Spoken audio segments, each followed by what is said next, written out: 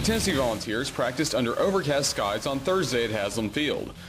Following the eighth practice of the spring, head coach Lane Kiffin addressed the status of departing running back Lennon Creer. Lennon's no longer with us. Uh, he's decided, uh, we had a meeting, he's decided that uh, he doesn't want to be a part of the program anymore, and uh, he's going to go a different direction, and so we wish him the best of luck. Thursday's work marks the beginning of the second half of spring camp, and it was a great workout according to Kiffin. Thought the defense had a great day, really did. Put in some, uh, some new fronts, gave the offense some problem, and uh, moved some guys around on the offensive line, and uh, they, they got after us. We did a lot of third, long third down work as opposed to short yardage, some third and six, eight, and ten work, and I uh, thought the defense played well. Center Josh McNeil anchors Tennessee's offensive line. The senior is going through his final spring practice and learning a new blocking scheme in Kiffin's offense.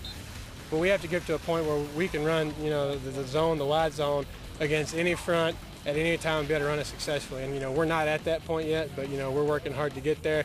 And, you know, that is going to be our bread and butter. That's what we plan on it being. So we just have to get it to where no matter what, we can run it and have success with it.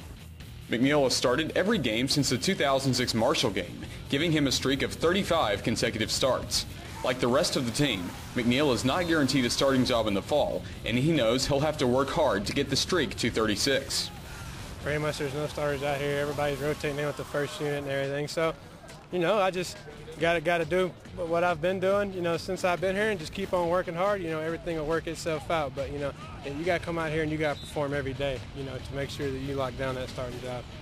Josh is in a battle for a starting job right now, so um, you know we're rotating him in there with the ones and twos, um, trying to push him, and uh, you know he's played he's played a lot here, but that really doesn't matter. So um, you know he needs to continue to improve so he can be our starting center. McNeil anticipates an exciting scrimmage on Saturday morning and looks at it as another chance to prove himself. Coach Kiffin, obviously, he just said that uh, you know it's the biggest scrimmage of the spring so far. So it's obviously a big day for us to come out there and uh, prove ourselves as far as individually.